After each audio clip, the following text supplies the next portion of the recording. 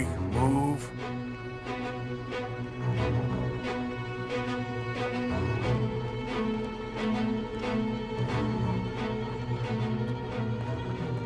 Shit.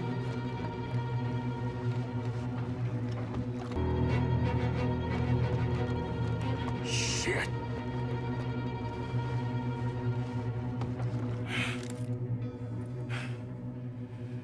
Okay, Mr. Milton. I guess we're gonna have to talk this out like gentlemen.